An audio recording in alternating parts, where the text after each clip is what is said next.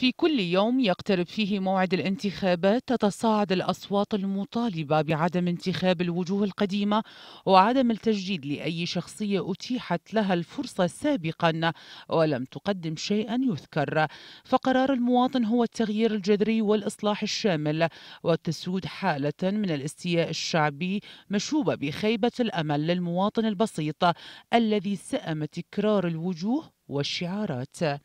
بابليون طالبوا أقرانهم بالذهاب إلى صناديق الاقتراع لأن المسؤولية التي ستقع على كاهلهم كبيرة وأن لا تنطلي عليهم الخدع التي يقومون بها من أجل كسب أصوات الناخبين. رأي الانتخابات الانتخابات هي كل بيد الشعب يعني كل المرشحين هم خلينا نقول رغبتهم بيد الشعب. المفروض المواطن يختار الاختيار الصحيح للي يمثله بالبرلمان.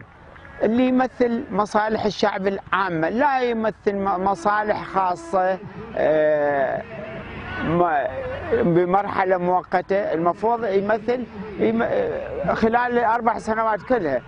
الشعب إن شاء الله وعى على هاي الحالة بأنه يقول لك أنا أريد واحد يخدمني لأربع سنوات ما أريد يخدمني لمدة شهر. المرشحين ما شاء الله خدماتهم ومساعداتهم وجولاتهم اللي يقدم سبيس واللي يقدم رمول واللي يقدم آه، خدمات للمرضى واللي يقدم مواد غذائية واللي يقدم مادة من أجل كسب الأصوات بعد ما يحقق مطلبه وبعد ما يحصل على اللي يريده من الأصوات بعد ممكن أربع سنوات جديدة قبل الانتخابات بعد قبل الانتخابات شهر ثلاثة يعيد عليها نفس الكرة ويقدم نفس الخدمات. المواطنون أنفسهم قالوا في السنوات السابقة تم تعويد الناخب العراقي على انتخاب وجوه لا برامج انتخابية كما إن هذا الناخب العراقي كان أصلا موجها لكنه اليوم سيتخلص من تبعيته وطائفيته وعرقيته التي يهزم عليها المرشحين حتى لا تكون